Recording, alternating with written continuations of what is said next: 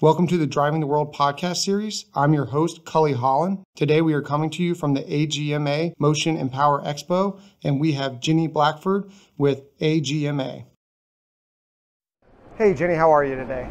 Great, how are you? Doing wonderful. Uh, thank you so much for having me. I'm very glad you had the chance to stop by. So, why don't you just tell the folks kind of who you are and the uh, roles you play in apparently the AGMA and the ABMA while we're sitting here?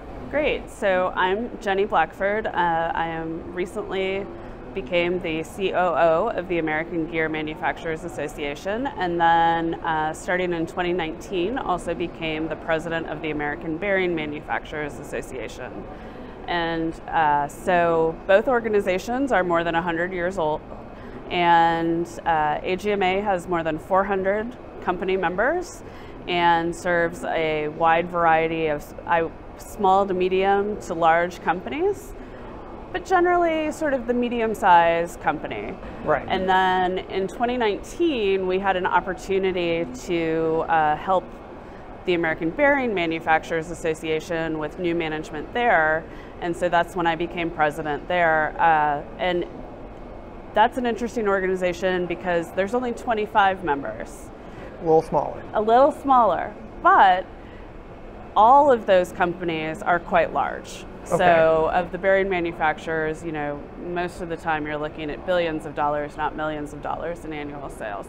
So it's been a it's been a very interesting experience to see how the industries are beginning to come together a little bit more and be more, uh, you know, full systems providers, and also dealing with very diverse business interests while we're working with small and medium uh, on the gear side and then translating that over to the large and vice versa. And it's really proven to be a nice collaboration between the two organizations. Uh, you know, trade issues are very, very important to larger companies. AGMA wasn't really in that space and still, until we started helping the American bearing manufacturers because trade is vital to international companies such as SEW. Uh, and so, you know, over the past couple of years, we've built trade webinars and have regular experts talk about business and uh, tariff issues and things like that that we might not have done just as AGMA. So it's nice to see how they play together. It sounds like it was two uh, two associations running in parallel, but now they've kind of started, you know, working together uh, cohesively as a group, which I mean, completely makes sense from our end because we need all the components to make the final product. And I like what you're saying, working towards a solution provider, because that's something that SEW believes in. Actually, one of our mantras is people don't want products, they want solutions. Absolutely. So even though, you know, the bearings and the gears are a component or a product that goes into the units we make, we need a complete system that works together so that we can get a quality solution to our customers at the end of the day. So I think it's really interesting that the gearing was smaller to medium, and then the bearings were large. So now with them joining together, you kind of have the whole portfolio under you, and it it makes sense that those meetings are going to really be fruitful. So, is there anything that we need to know moving forward, like in the near future, that's going to be happening with either the American Gear or the American Bearing Associations?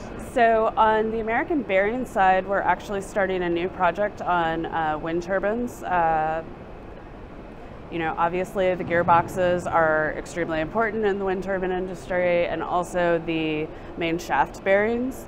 And so uh, over the next probably six months to a year, the American Bearing Manufacturers is going to be taking a look at that. So if anybody is interested in participating in that project, we'd love to have them. Uh, and then on the gear side, you know, we're looking at EV and other emerging technologies, which everybody plays in, right? Right. Even if you're not involved in it today, you just want that awareness of what's coming and what could potentially shape your business five years, 10 years down the road. So, keeping an eye out for new opportunities for our members and things of that nature. And then always collaborating more and looking for those opportunities. And uh, you know, for SEW or for anybody out there who has any suggestions for pain points that you're seeing in the industry, both groups are always looking for suggestions. So by all means, reach out.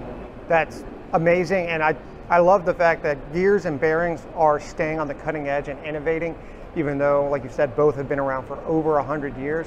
They're staying right there on the front lines, which I think is very important to all the industries involved. And in some of our other podcasts, we've mentioned that agma.org is a good place to find information and reach out to AGMA.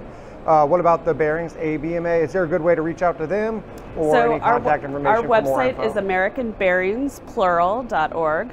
Uh, and you are more than welcome. Also, if you just reach out through AGMA, it'll eventually find its way over, uh, so that's no problem either. So, happy to hear from anybody out there who may have an interest in these topics. Well, very good. I think we've uh, touched both of those a lot. Uh, if you don't have anything else to add, it uh, has been a pleasure having you on today. I Thank you so appreciate much, you showing Colin. up. I hope you have a great day. Thanks.